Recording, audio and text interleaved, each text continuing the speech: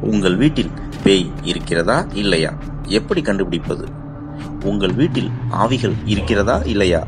என்பதை கண்டுபிடிக்க இந்த எளிய முறையை கடைபிடித்து எளிதாக கண்டுபிடித்து விடலாம். ஆவி பேய் என்ற வார்த்தை உலகம் முழுவதும் பரவி உள்ளது. கடவுள் என்ற நல்ல சக்தி இருந்தால் அதற்கு எதிர்வினையாக கட்டாயம் தீய சக்திகள் இருக்கும் என பலரும் தெரிவித்து வருகின்றனர். அந்த வகையில் பேய் இருப்பதாக நம்பி வருகின்றனர். இருட்டை கண்டு பயம் உள்ளவர்களுக்கு பேய் ஆவி நம்பிக்கை அதிக அளவில் இருக்கும். இதன்படி உங்கள் வீட்டில் பேய் இருக்கிறதா இல்லையா?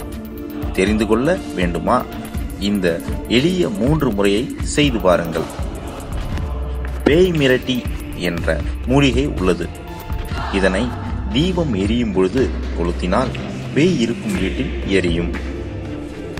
பூதவேத உப்பு என்ற மூலிகை உள்ளது. இதனை வீட்டில் வைத்தால் வினவாடை வீசும். பேய் இல்லாத வீட்டில் அந்த நாற்றம் வராது. இந்த மூலிகைகள் உங்களுக்கு கிடைக்காவிட்டால் பசுசாணத்தில் பிள்ளையார் பிடித்து அருகம்புல்லை அதில் சொருகினால் பேய் இருக்கும் வீடாக இருந்தால் அந்த பிள்ளையாரை வண்டு மொய்த்து சிதைத்துவிடும். பேய் இல்லாத வீட்டில் பிள்ளையார் கெடாமல் அதிக நாட்கள் இருக்கும்.